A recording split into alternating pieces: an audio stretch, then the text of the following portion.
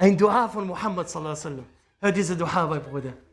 اللهم إني أسألك الشوق إلى لقائك الله أكبر يا الله ich bitte dich dass deine Begegnung ich vermisse deine Begegnung Bruder bei Allah wie lange praktizieren jetzt die, die Islam wie lange beten wir wie lange lieben wir in seinen Khairis und in seine Ni'ma und seine Gnade ist wann hast du Sujud gemacht und du hast gesagt diese Wörter ja Allah ich liebe dich haben wir diese Wörter gesagt, Bruder? Du sagst, ja Allah, ich liebe dich. Du hast mich von Dunkelheit raus zu dieser Nur, zu diesem Licht. Ja Allah, die Menschen sind verloren und ich bin recht geleitet.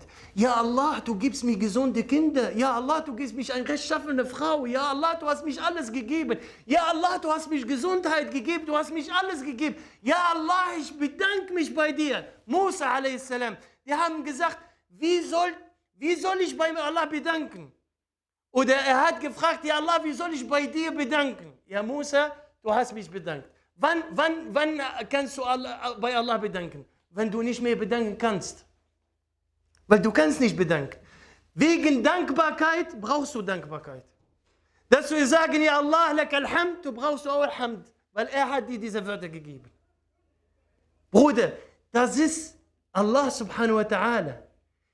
Er vergibt dir und er umwandelt deine ganze Sünde zu guten Taten.